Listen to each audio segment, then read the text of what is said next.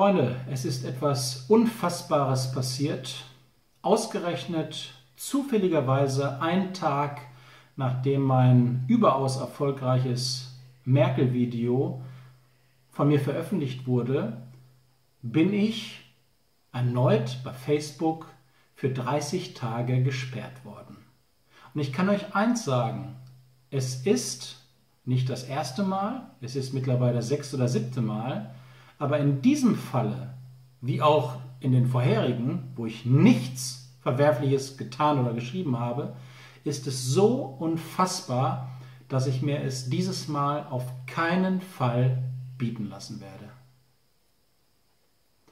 Vorab will ich euch allerdings erklären, worum es überhaupt in diesem Fall geht. Könnt ihr euch noch daran erinnern, natürlich könnt ihr das, als der 20-jährige Ali Bashar die 14-jährige Susanna vergewaltigt und ermordet hat und im Anschluss mit seiner gesamten achtköpfigen Familie über Düsseldorf nach Istanbul zurück in den Irak geflohen ist? Deutsche Bundespolizisten unter der Führung des obersten Bundespolizisten haben dann in vorbildlicher Art und Weise in Absprache mit der kurdischen Zentralregierung diesen mutmaßlichen Vergewaltiger und Mörder wieder nach Deutschland zurückgeholt.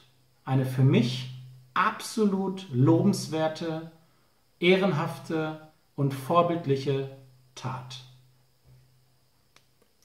Dieses nahm ein Rechtsanwalt allerdings zum Mittel, um für sich, meiner Ansicht nach, Eigenwerbung zu betreiben.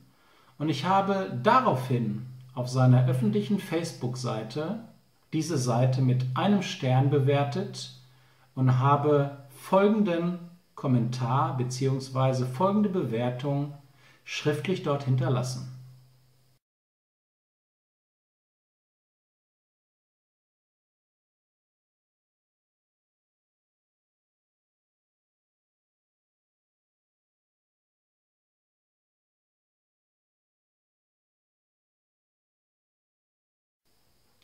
Und jetzt frage ich euch, was haltet ihr von diesem Kommentar?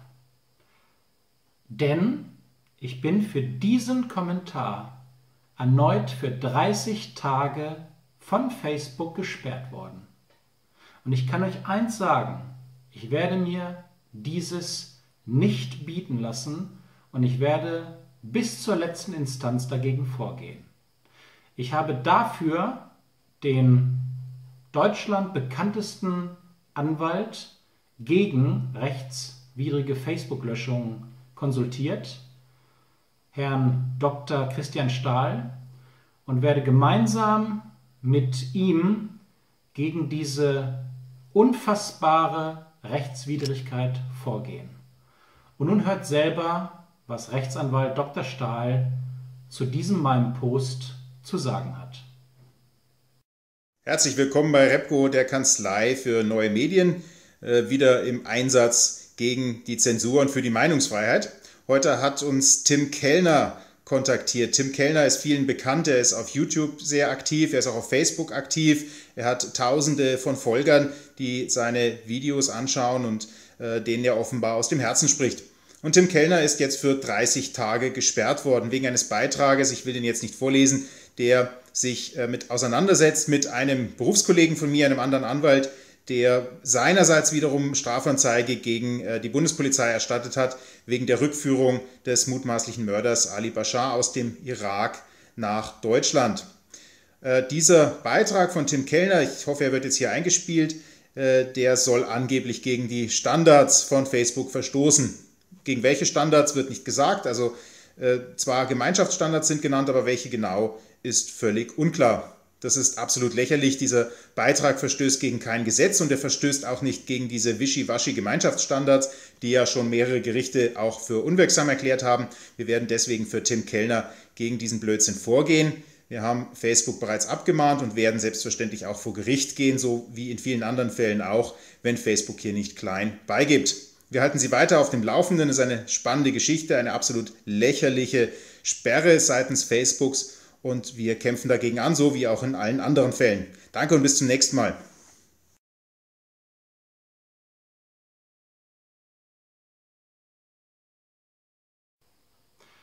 Und damit ihr dieses unglaubliche Vorgehen seitens Facebook euch nochmal vor Augen führt, was aus rechtlicher Sicht eindeutig sowohl rechtswidrig ist, weil es zum einen nicht im geringsten gegen irgendein deutsches Gesetz verstößt und zum anderen auch nicht im geringsten gegen die Verhaltensrichtlinien von Facebook verstößt, könnt ihr euch noch einmal meinen Kommentar durchlesen.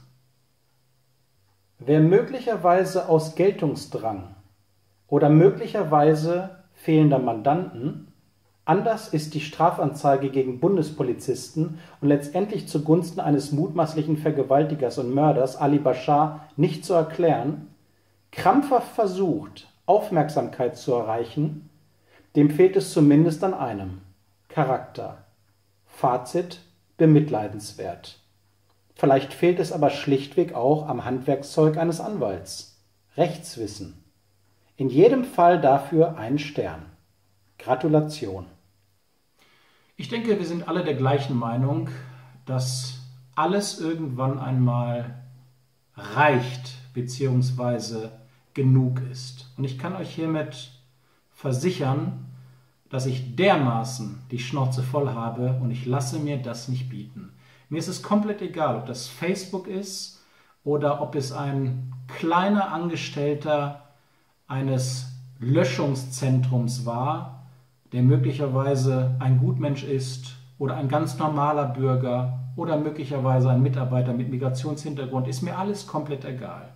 Fazit ist, diese Person hat aus rechtswidrigen und falschen Gründen mich erneut für 30 Tage gesperrt und das werde ich mir nicht bieten lassen. Freunde, ich fasse nochmal ganz deutlich zusammen. Ich habe für die Bundespolizei Partei ergriffen. Ich habe für den deutschen Rechtsstaat Partei ergriffen.